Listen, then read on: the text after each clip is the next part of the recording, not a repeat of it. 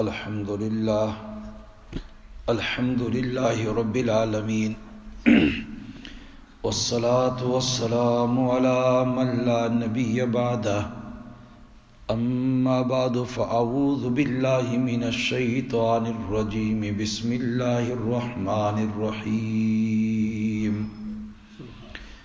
ألف لام ذلك الكتاب لا ريب فيه هدى للمتقين صدق الله العظيم میرے نہایتی قابل قدر مسلمان بھائیوں، بزرگوں، گھروں میں سننے والی مسلمان ماؤں بہنوں، یہ سورہ بقرہ کی ابتدائی آیات تلاوت کی ہیں۔ رب العالمین سے دعا ہے کہ اللہ اس کے متعلق صحیح بات کہنے کی توفیق عطا فرمائے۔ اور رب العالمین ہم سب مسلمانوں کو صحیح معنوں میں دین اسلام کی سمجھ اور اس کے اوپر عمل کی توفیق عنایت فرما دے۔ اس سے پہلے کل کے درس کے اندر آپ حضرات کے سامنے سورہ بقرہ کے فضائل اور اس کے متعلق، اس کا شا اس کے نزول کے مقام و جگہ کا ذکر گزرا۔ آج اس صورت کا پہلی والی جو صورت ہے، سورہ فاتحہ کے ساتھ جو ربط ہے، جو کنیکشن ہے اس کا، اس کو بیان کیا جائے گا۔ یہاں پر معرف القرآن میں حضرت مفتی اعظم پاکستان مفتی شفیع صاحب رحمۃ اللہ علیہ وہ اپنی تفسیر معالف القرآن معرف القرآن میں تحریر فرماتے ہیں کہ سورہ فاتحہ پورے قرآن کریم کا خلاصہ ہے۔ سبحان اللہ اور اس کے تین بنیادی مضمون ہیں اس کے اندر۔ پہلا مضمون اس کے اندر ہے کہ مستحق کی عبادت۔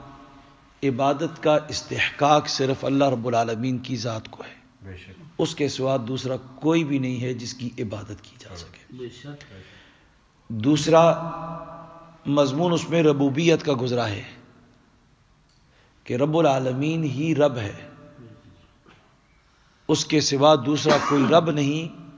رب کا معنی کہ انسان کے جسم کے اندر جب سے روح پیدا ہوتی ہے اس سے لے کر جب تک اس کے بدن میں روح ہے اور جب روح نکل جاتی ہے، روح کے نکلنے تک اس کے تمام رہنے سہنے کا اور اس کی بڑھوتری کا انتظام کرنے والا، تمام ذرائع چیزوں کو پیدا کر کے اس کے لیے، اس کے نظام کو چلانے والا۔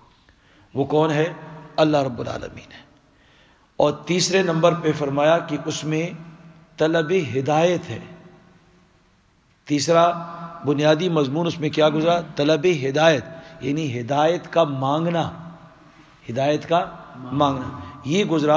اور پھر سورہ فاتحہ کے آخری جو مضمون تھا، اس میں کیا تھا کہ سرات مستقیم کی ہدایت طلب کی گئی تھی۔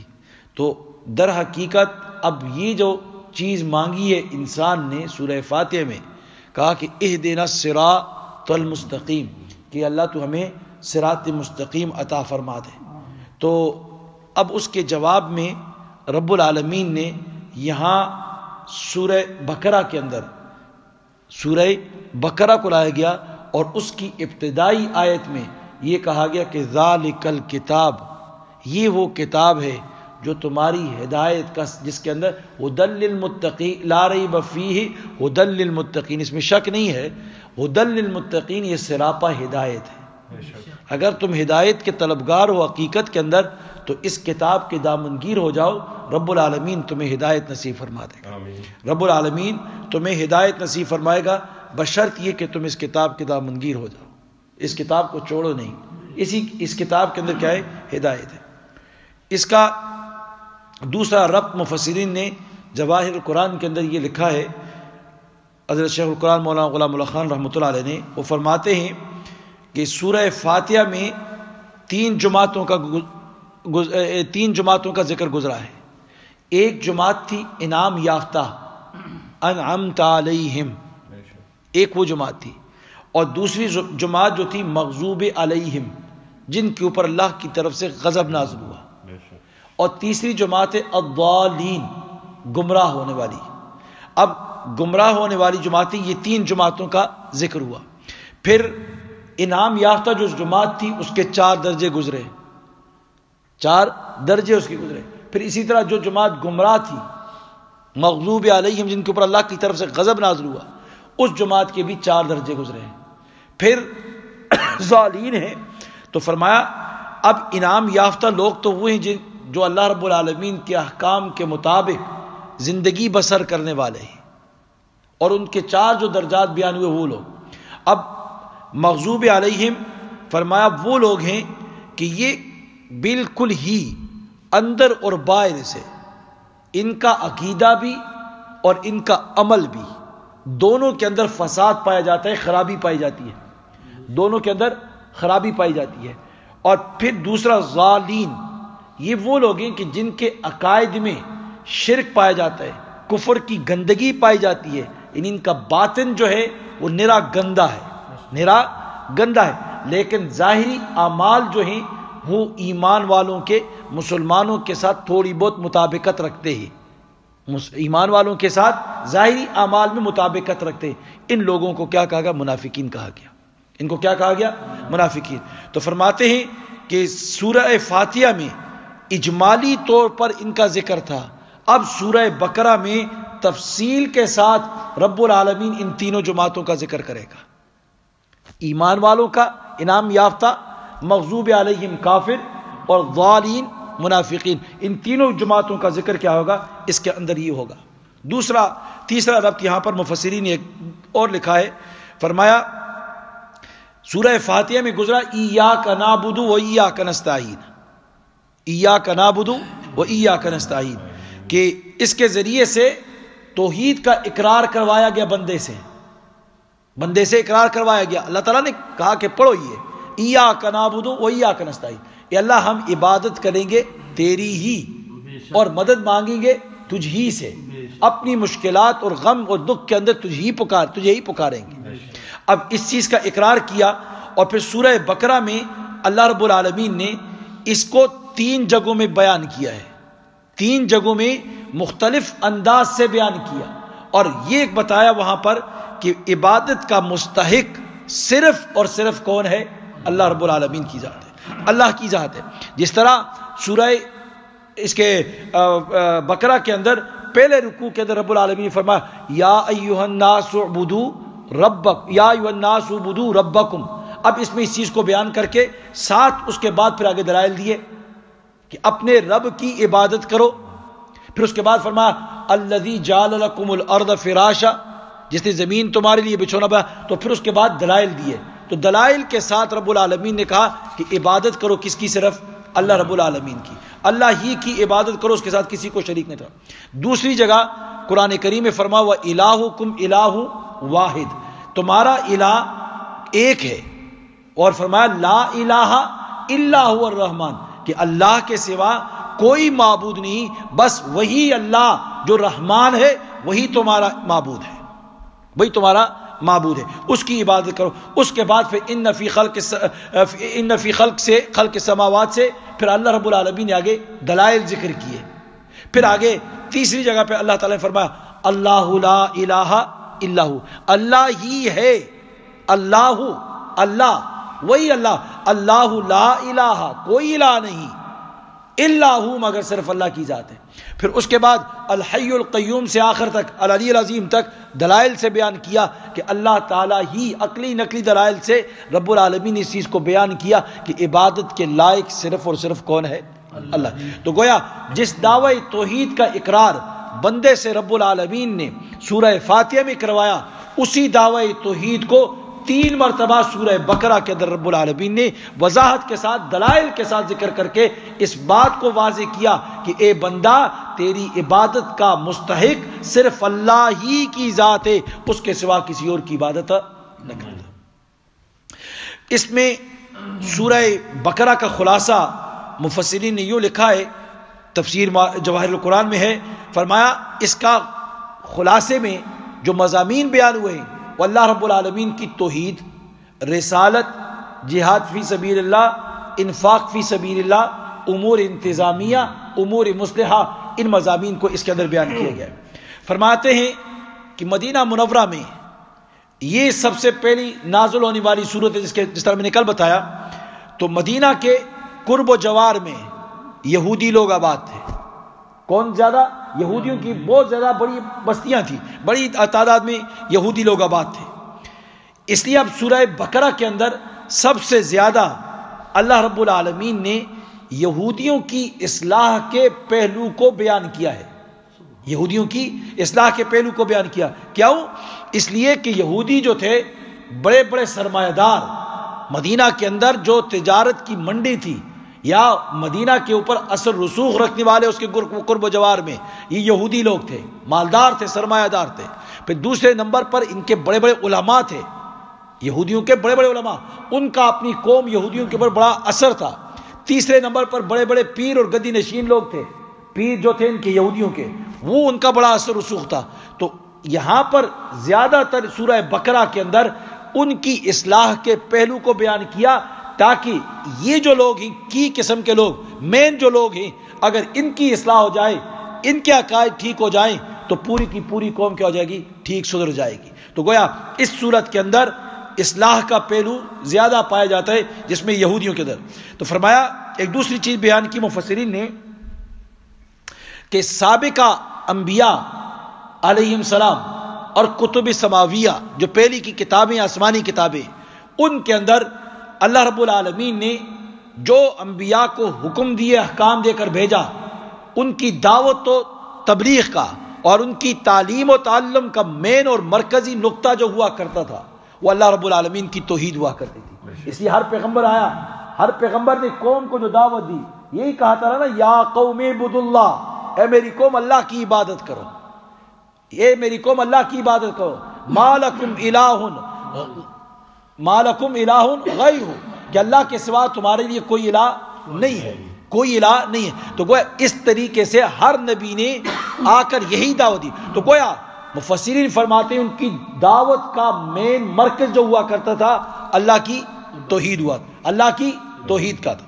تو فرمایا، اور اللہ کی توحید میں اس بات کی خاص طور پر بیان کیا گیا کہ اللہ کی عبادت کی جائے اور اسی سے مدد اور مراد مانگی جائے۔ وہی مالک اور مختار ہے، وہی نفع نقصان کا مالک ہے اور وہی کار ساز ہے۔ یعنی اللہ رب العالمین ہی کار ساز ہے، اس کے سوا اور کوئی دوسرا کار ساز نہیں۔ تو سورہ بکرا کے اندر بھی رب العالمین نے مرکزی جو مضمون بیان کیا ہے، مرکزی جو مین نقطہ بیان کیا ہے، وہ بھی اللہ تعالیٰ نے اپنی توحید کو بیان کیا۔ اس کا مین مرکز موضوع کیا ہے؟ وہ اللہ رب العالمین کی توحید ہے کہ یا الناس عبدو اے دنیا کے انسانوں اپنے رب کی عبادت کرو تو سورہ بقرہ کے اندر کیا ہے؟ گویا سورہ بقرہ کا مرکزی مضمون جو ہے، وہ توحید ہے۔ اور پھر اس کے اردا گرد تمام مضامین جو ہیں، وہ اس کے اردا گرد گھومتے ہیں۔ کیونکہ توحید نہ ہوگی تو کوئی عبادت قبول ہی نہیں ہے۔ تمام عبادات کا مرکز جو ہے وہ کیا اللہ کی توحید ہے۔ کہ اللہ کی یکتائی اور بڑائی اس کا اقرار کرنا ہے۔ اس کا اقرار کرنا پھر فرماتے ہیں آگے کہ دعوی توحید کو اس صورت میں، جس طرح میں نے پہلے بتایا کہ تین جگہ بیان کیا ہے۔ ہر جگہ اللہ رب العالمین نے عقلی اور نقلی دلائل سے اس کو واضح کیا۔ کیونکہ، کیوں ایسا ہوا؟ اس کی بنیادی وجہ مفسرین فرماتے ہیں کہ یہود و نصارہ اور مشرقین عرب، یہ تین قسم کے شرک میں مبتلا تھے۔ کتنی قسم کے؟ تین قسم کے شرک کو شرک کیا کرتے تھے۔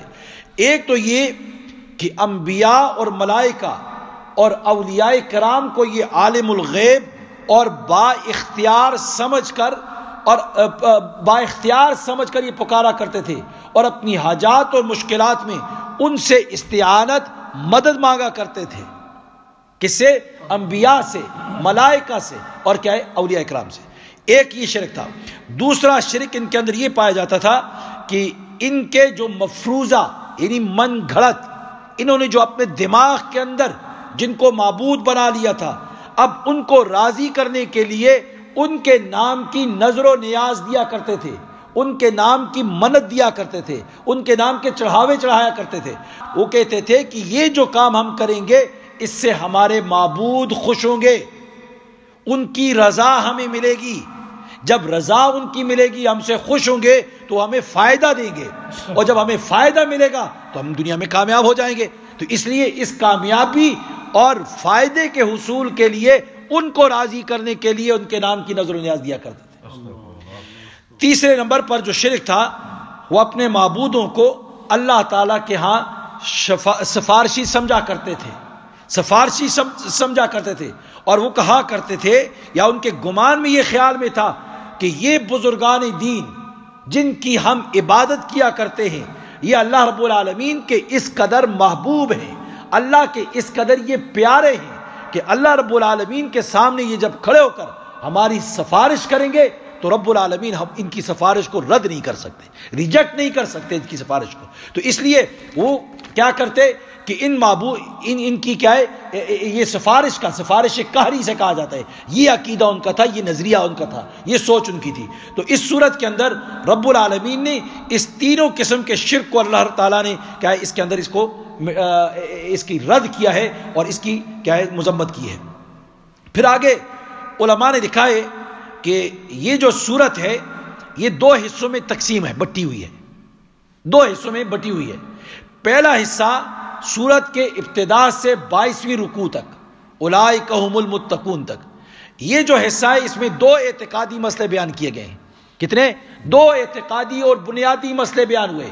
ایک، اللہ رب العالمین کی توحید، اور دوسری، جناب نبی کریم حضرت محمد مصطفیٰ صلی اللہ علیہ وسلم کی رسالت کو بیان کیا ہے۔ رسالت کو بیان کیا تو یہ دو بنیادی جو مسئلے ہیں، اعتقادی، یہ پہلے حصے کے اندر بیان ہوئے۔